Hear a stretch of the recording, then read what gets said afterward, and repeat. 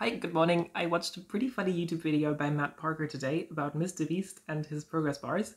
It's about how Mr. Beast, when he uses ad segments, so when he introduces a sponsor of the video, he puts in a little progress bar at the bottom of the video indicating how long the ad segment is going to last. Which in theory sounds nice, but in practice people found out that they actually, progress bars, they don't move continuously in at one speed, but they kind of speed up at the beginning and then they slow down over time to make people kind of watch the video longer. And Matt Parker did a funny video about this where he uses some code to analyze what the curve of the progress bar actually looks like, so how exactly it speeds up at the beginning and stuff.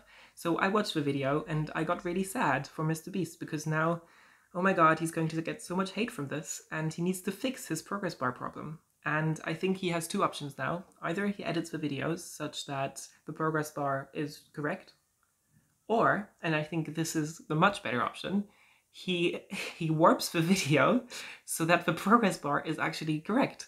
And I thought that was funny enough for me to try it and implement it.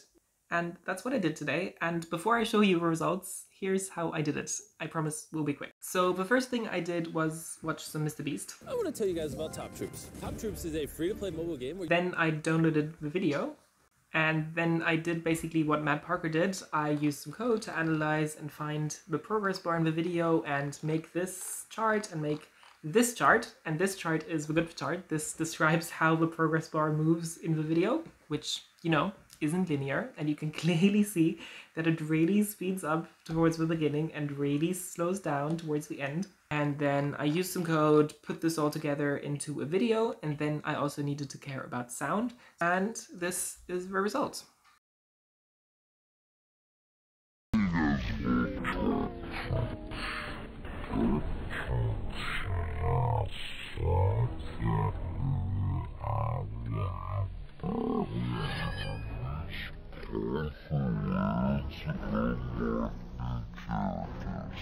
Are you in this game?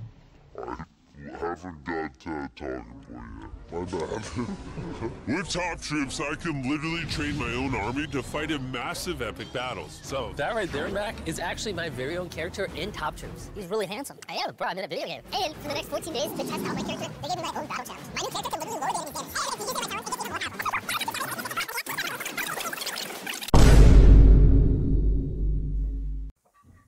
Okay, that was it. I hope you found it funny. I thought it was pretty funny. Goodbye.